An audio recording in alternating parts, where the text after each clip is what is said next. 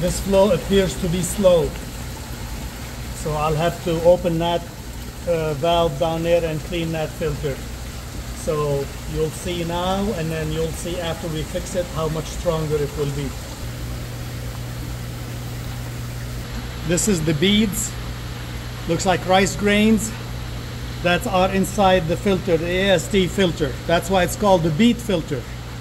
And I've shown you in the other video how this works basically by air pressure.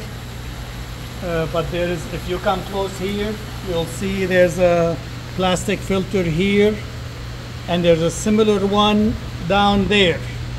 And that's, they both get clogged. Uh, this one is okay, but sometime you may see the, the this uh, rice get stuck in the slit.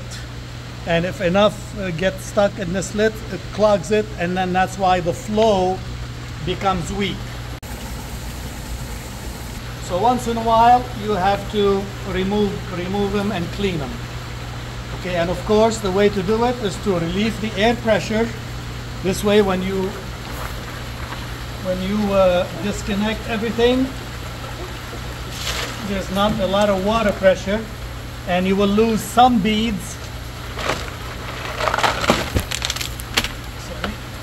You will lose uh, some beads here. That's why I put this plastic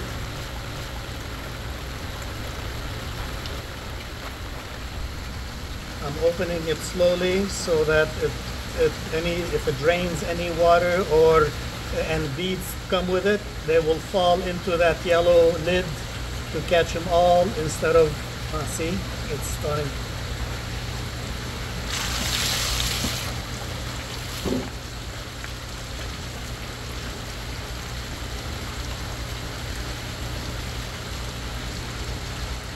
What's doing now, it's draining the water that's inside.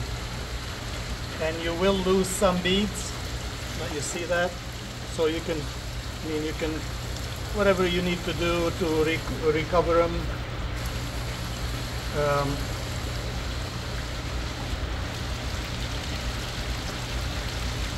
and this is the filter that I talked about earlier. It looks better, better than I expected. I don't know why the flow is slow. Um, but that's what I mean by the beads getting inside and the clogging. Uh,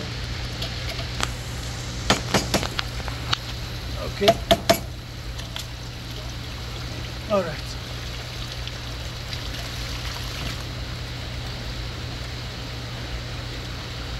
So it's a little messy. I mean like getting wet in this, but it's something necessary you have to do. And if you do it carefully, by shutting off the water pump and the air pump, let it settle down, open it, have it something to catch if you caught any beads.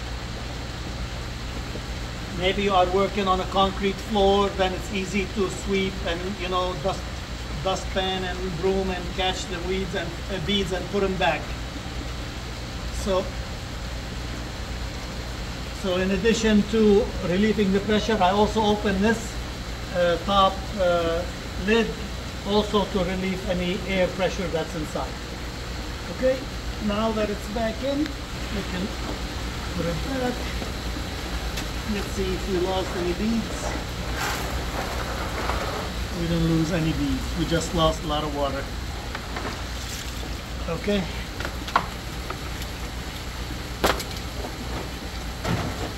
And let me close it and then we'll flush it and hopefully see the flow stronger. Okay, now that I closed it back, I want to make sure that this is not leaking. So I added a little bit of water, just like you test if your tire is leaking. I added a little bit of water. I don't see any bubbles. That's not leaking. This is not leaking water, so I tightened it enough. The bubble is at one. That's where I want it to be. So um, it's all good. We've brought it back to the way it was. Let's flush it and see if the flow is stronger. That's much better. That's what I like it to see. That's what you want to see in a flow. Should fill up that five gallon bucket in less than 30 seconds. Okay.